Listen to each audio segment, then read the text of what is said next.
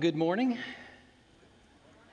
All right, three of you who are awake, good to see you this morning. Glad, glad you are uh, here with us today. Let me also say uh, welcome to those of you who are joining us online for uh, the first day of our new live stream from the modern service. You may have heard a few months ago, we are talking about updating some equipment, getting some things in, and so that is in. Today's our first day that we're uh, broadcasting the modern service live, uh, multiple cameras and angles and all that sort of stuff. So it's produced a lot differently than if you watched before. So for those of you in the room, if you're away in upcoming weeks, and those of you online know that our upcoming schedule is at 9:15. The blended service will be live stream, and at 11 it'll be the modern service that's live stream. So that note for you, so you can uh, adjust accordingly.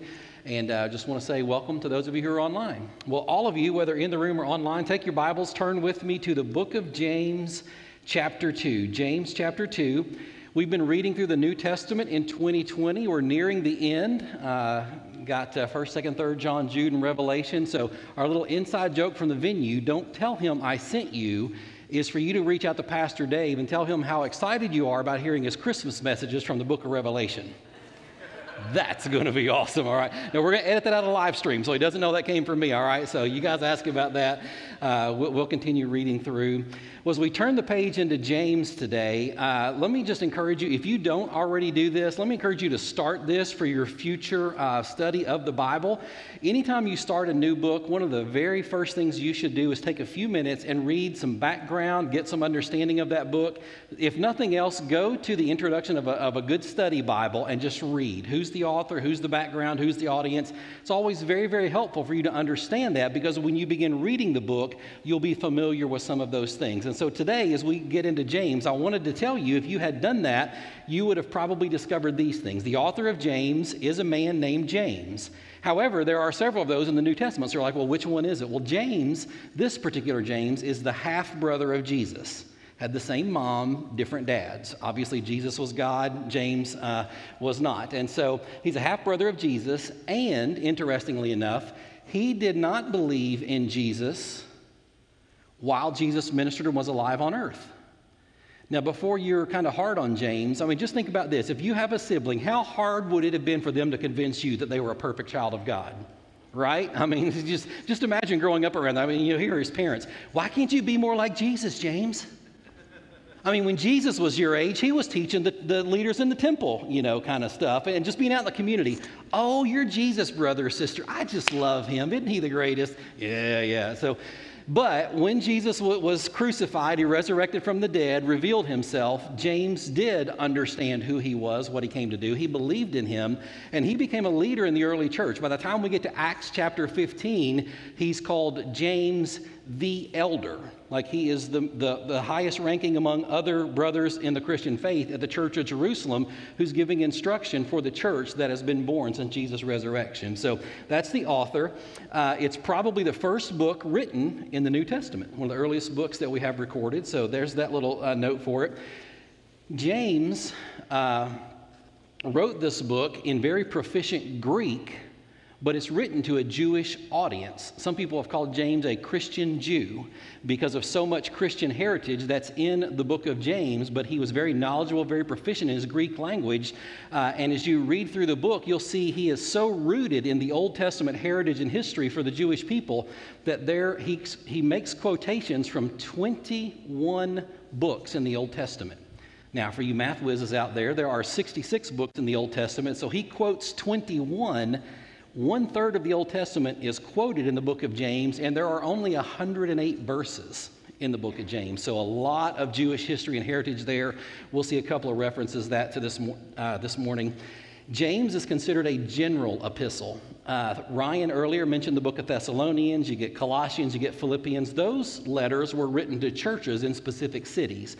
A general epistle, like James and like John, that we'll get to, those were written to groups of churches that were to be distributed among a, a large group of people in a demographic area.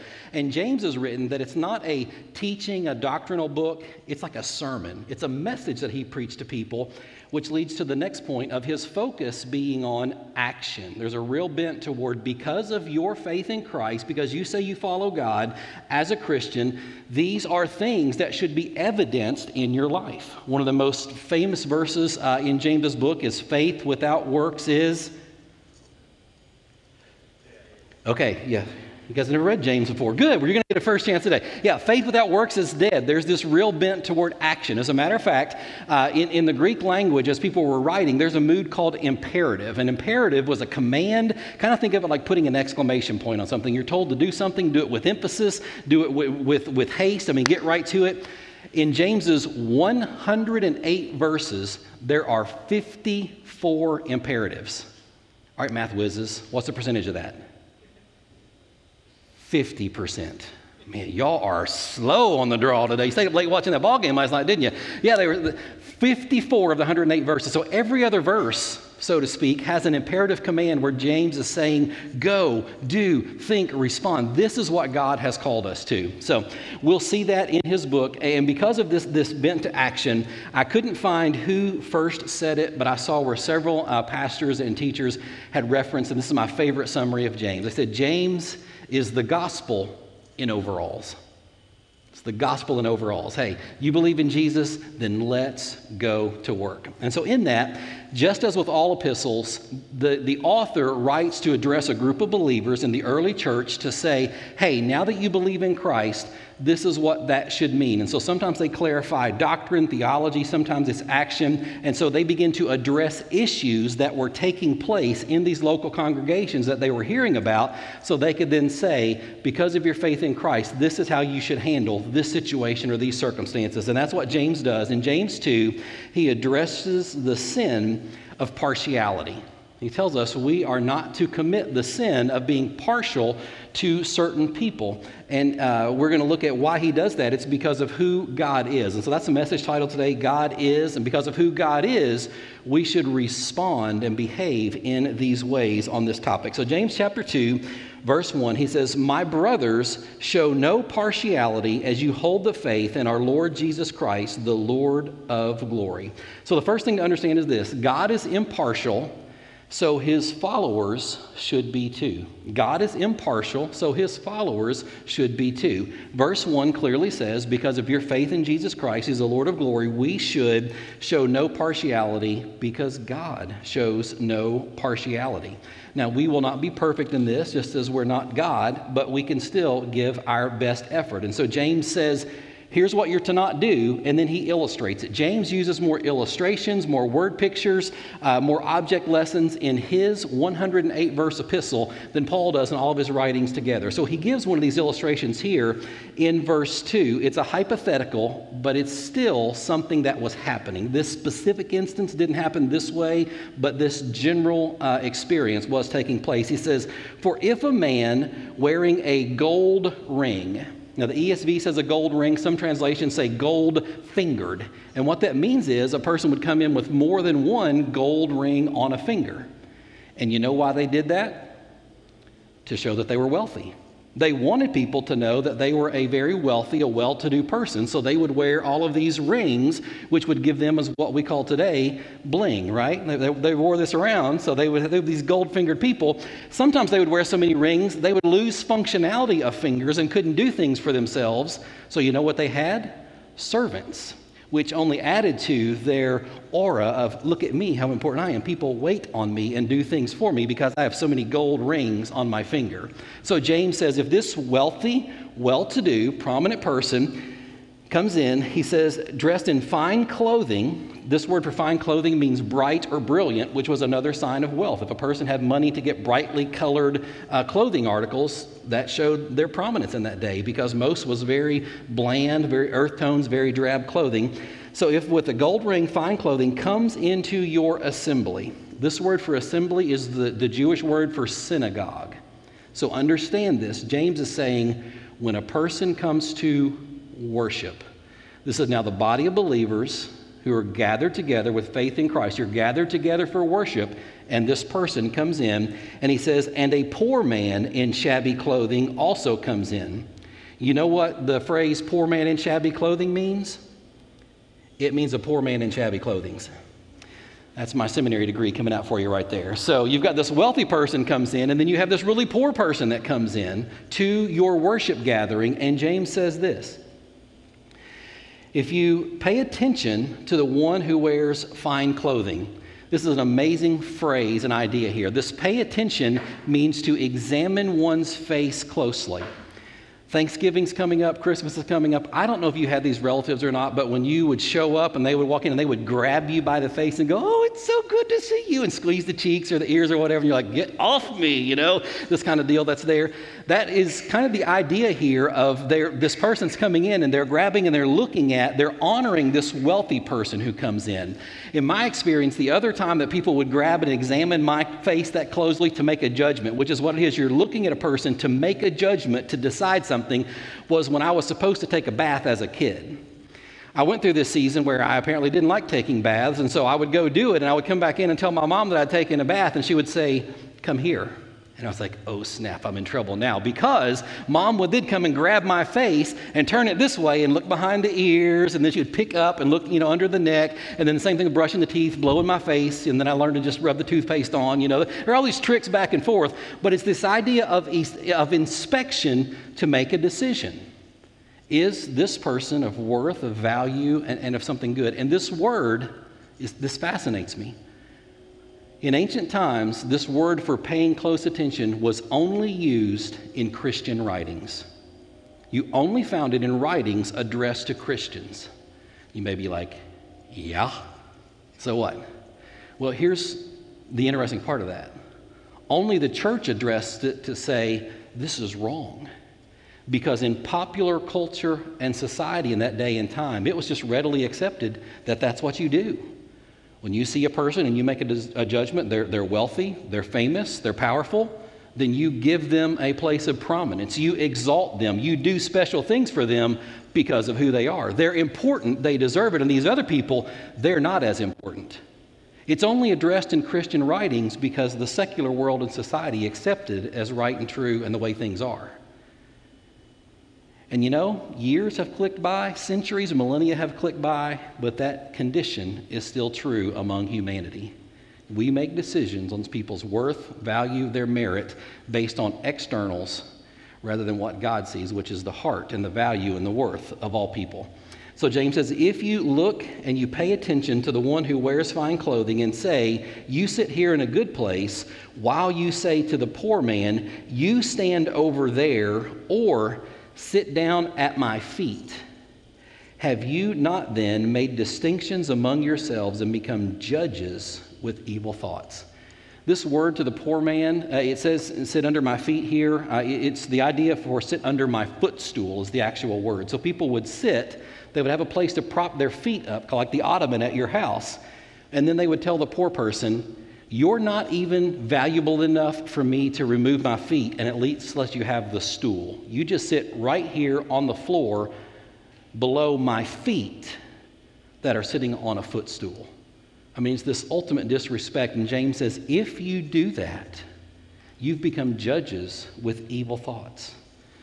Well, what's the evil thought? The evil thought is this this person is valuable, this person has merit, this person has worth this person does not. We basically are making the decision of a person's worth and value from our perspective and our criteria, which is not God's perspective or God's criteria, because all people are created in the image of God and are worthy of respect and honor and of basic kind and courteous treatment, regardless of whether they have money or not. So, this is the point that James drives home for believers. Because God is impartial, we should be as well. Now, I'm not a doctor and I don't play one on TV, but you've all been to a doctor and they're going to treat you for something or, or do something, and they will sometimes say, This is going to hurt a little.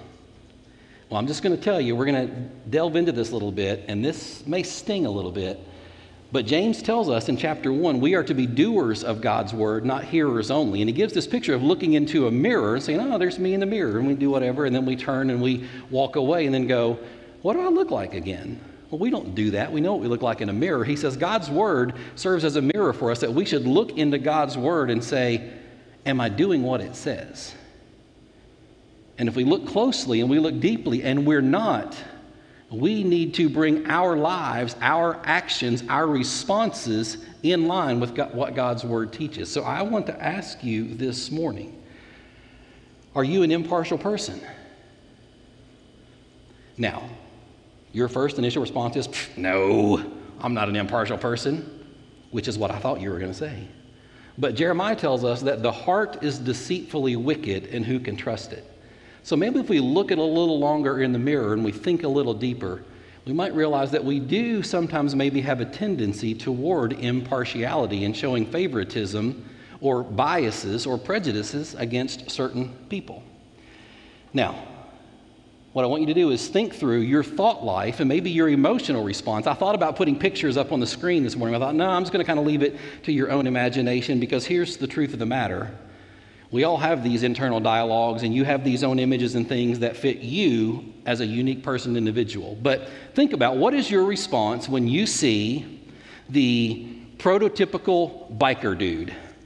guy, big burly guy, big old long beard, wearing his, you know, uh, black leather jacket, chaps, all this kind of stuff, you know, gruff looking. You, see that person out in public, walking down the street, coming at you. What's your response to that? Some of you are like, I don't have one. Well, good. That one, that one's not one that triggers you in some way. What about a person, all kinds of tattoos all over their body? Their arms, the, the neck, the big face tattoos. You've seen some of these images, gauges in the ears, piercings, eyes, nose, mouth, tongue, all this kind of stuff. The people with, you know, the gauges and the holes in their jaw. When you see those images, what's your internal response to that? Or when you see that person in person, in proximity that you can speak or not speak and engage or avoid?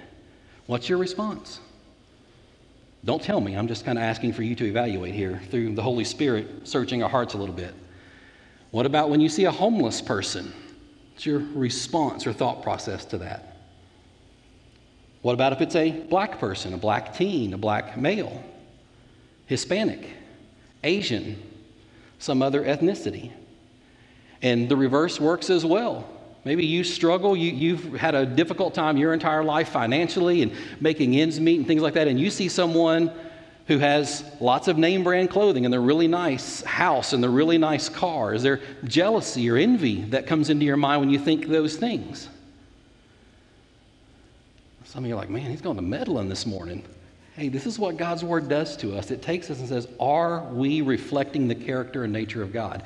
And it doesn't have to be external, sometimes it can be a personality or a temperament. Do personality types, that outgoing, bubbly, loud personality type, does it annoy you?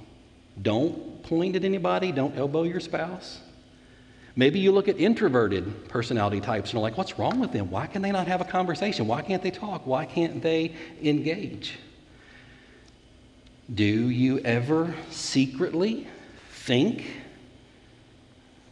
that it would be awesome to see proud, arrogant, prideful people not succeed at something? Do you wish something negative or bad would maybe come their way? What about members of the LGBTQ community that you see a part of and promoting? How do you respond to those things? What are your, what's your inner dialogue? What are your emotional responses, your thoughts when given the opportunity to engage or avoid or do whatever? You're like, oh, none of those bother me. Well, kudos for you, but also, are you looking in the mirror long enough? But if not, then here's all of us.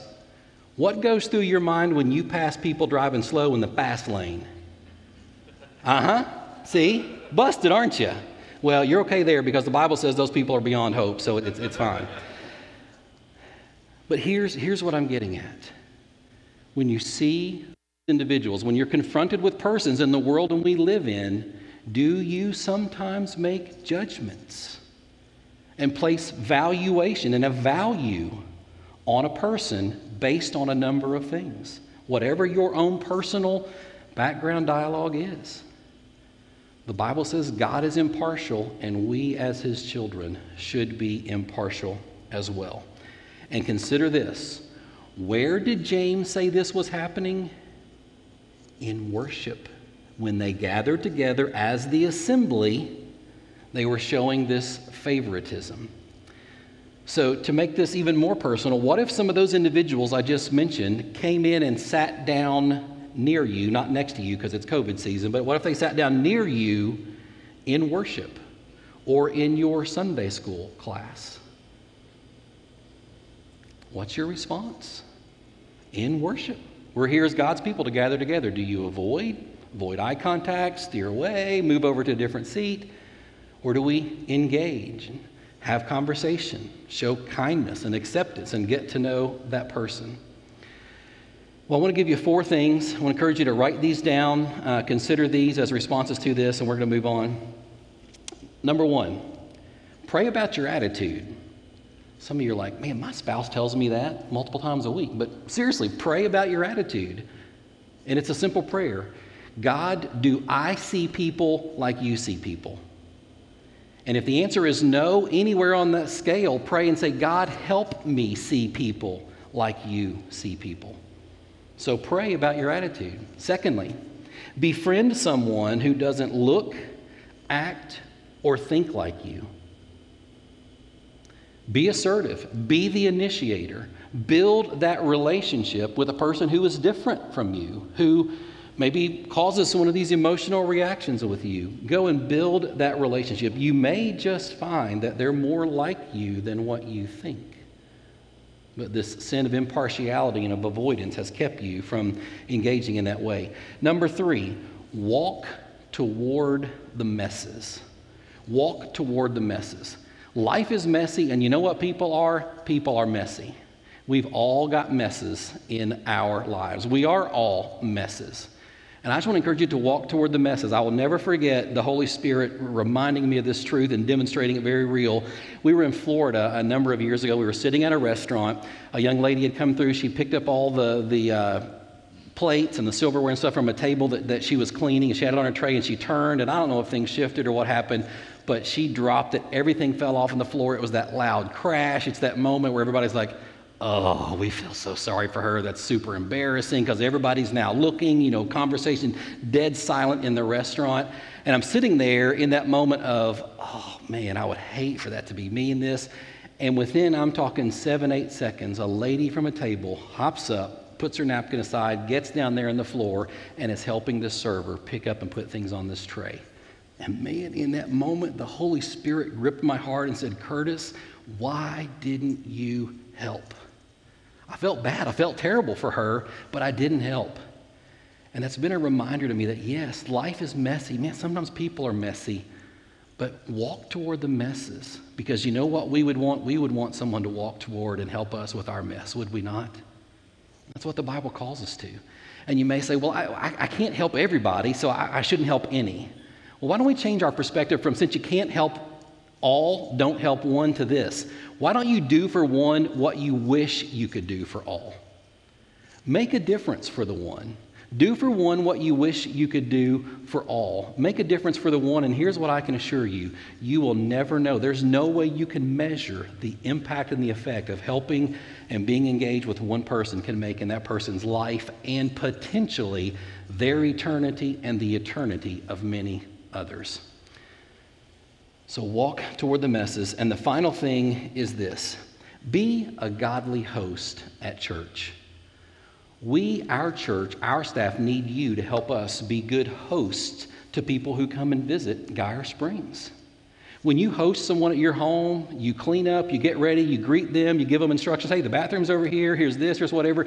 You give them the good seats, you give them your recliner, you give them your footstool or the ottoman that goes with it. I mean, you, you do this for a guest that's there. Guys, when we gather at worship, this isn't about us. We're God's people, we're God's family. We're here to help be a good host to those who attend.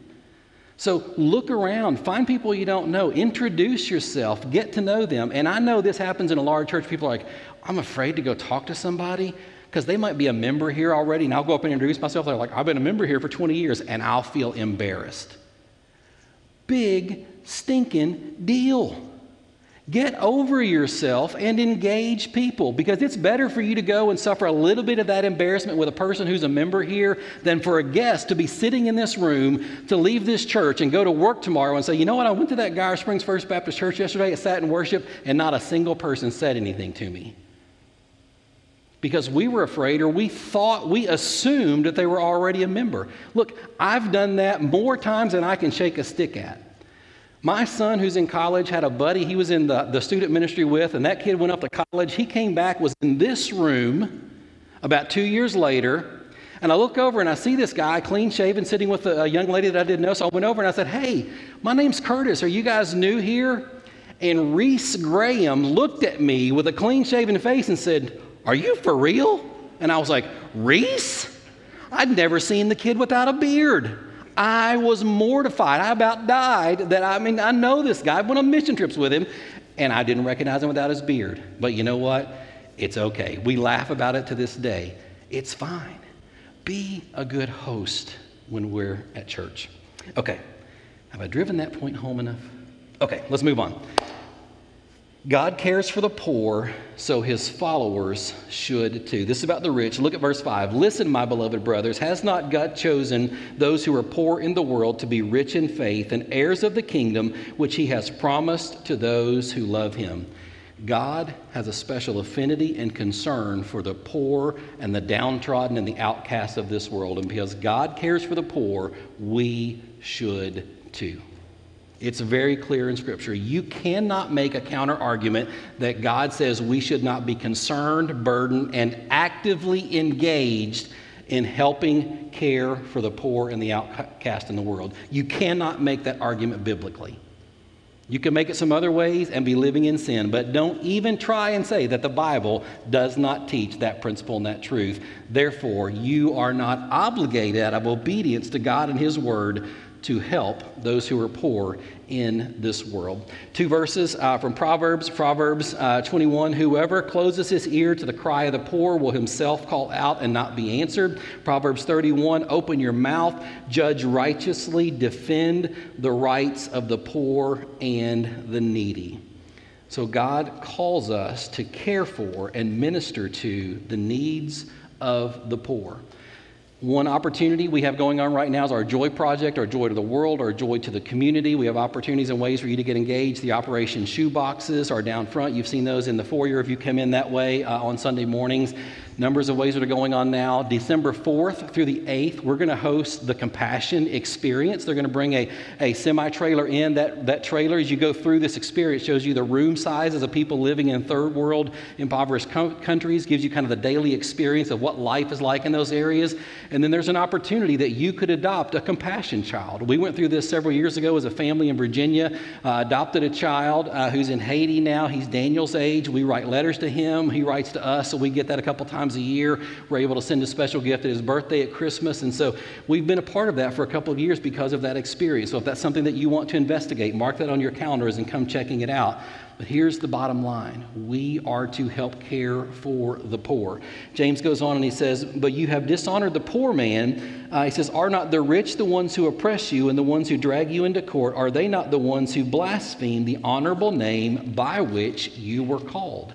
And so James actually says there's a whole separate uh, area of sin and temptation that befalls rich people. When you're wealthy, they're the ones who are oppressing the poor, they're taking from the poor, they're doing all these sort of things. And James says we must guard against that. We must help the poor when we've been blessed with wealth. And living in America, we have been blessed with that. You may be like, well, mine's not this one over here. Doesn't matter your scale and where you fall in that. We are a very wealthy people and a, a congregation that God has blessed with the opportunity to be a blessing to many, many more.